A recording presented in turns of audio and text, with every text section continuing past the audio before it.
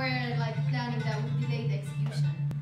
Mm. So Zaha is basically a platform that brings us together mm. and it actually encourages us just to acknowledge the soul in the person that we're interacting with and trying to judge less so we can bond genuinely with people, which I strongly believe is the essence of learning for us as a humans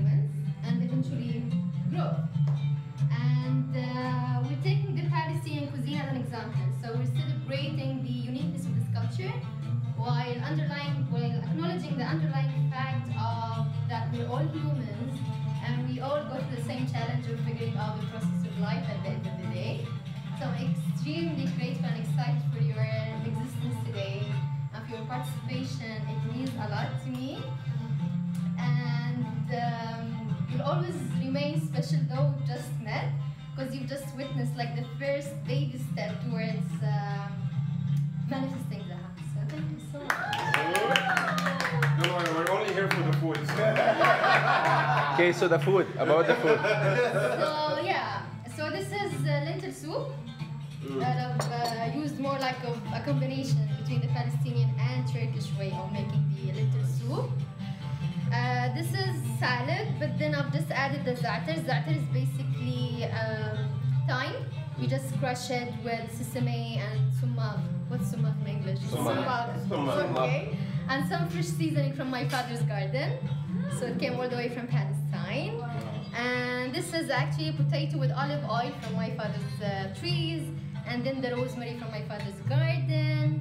And then the most important the ingredient is Freekeh.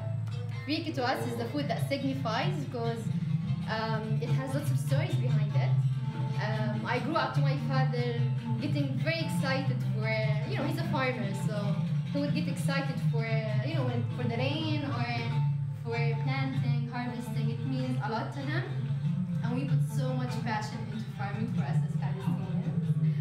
So basically, he picks up the uh, wheat before it matures when it's still green, and he roasts it in the open fire.